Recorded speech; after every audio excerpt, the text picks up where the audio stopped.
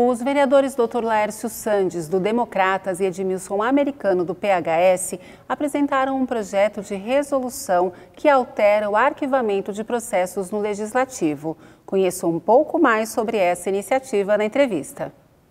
Jornal da Câmara hoje conversa com o vereador Dr. Laércio Sandes, do Democratas, que é um dos autores de um projeto de lei que ele prevê o arquivamento de proposituras de legislaturas anteriores, né, vereador? Explica pra gente como que funciona hoje.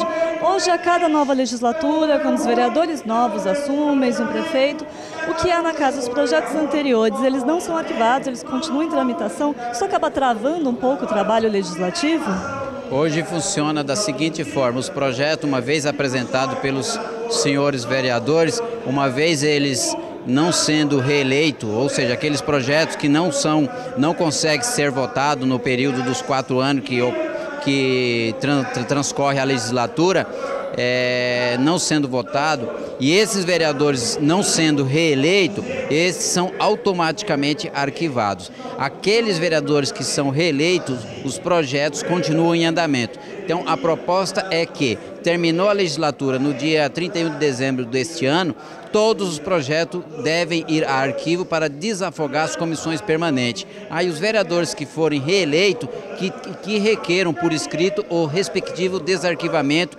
para eventualmente o prosseguimento. Por que, que eu e o vereador americano tivemos essa iniciativa? Por conta que nós temos muitos projetos antigos, às vezes de 10 anos atrás, igual do, por exemplo, do Geraldo Celestino, do próprio Paulo Sérgio, do próprio vereador americano, e que muitas das vezes esses projetos já, já perdeu-se o o propósito, a finalidade, haja visto que já foi aprovada uma lei federal, uma lei estadual, ou até mesmo algum projeto novo por parte do senhor prefeito municipal, e aí então não justificaria nós estarmos discutindo matéria que não vai ter mais pertinência. Então o propósito é enxugar a pauta da Câmara de forma que só venha para a próxima legislatura aquilo que realmente ficar re, realmente demonstrado o interesse por escrito dos vereadores que forem reeleitos.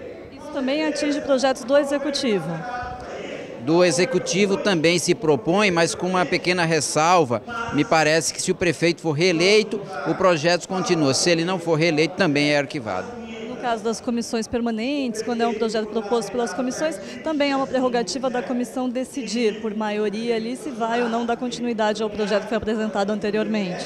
Perfeitamente, isso envolve todos, envolve tanto os vereadores, a presidência da casa e também as comissões permanentes. Dessa forma a gente enxuga para sempre estar tá tratando os projetos de lei atualizados, não questões muito antigas, por exemplo, que eu vou lhe dizer aqui, é, alguma questão que envolve o transporte por Kombi. Nós não temos mais sistema de transporte na cidade, então não tem por que discutir matéria dessa, de, de, dessa natureza, porque não vai ter eficácia. Então, a proposta se torna muito interessante, como já ocorre na Assembleia Legislativa, como já ocorre também na Câmara Federal em Brasília. Simplesmente a gente está colocando uma questão uniforme, como já é a nível Brasil.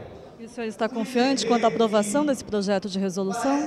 Eu não consultei os pares, o projeto foi idealizado por eu e o vereador americano, mas eu acredito que deva, deva haver consenso, porque diante da minha fala você verifica que tem situações antigas que não tem o porquê continuar nos arquivos da casa. Então isso vai realmente colaborar para os trabalhos internos.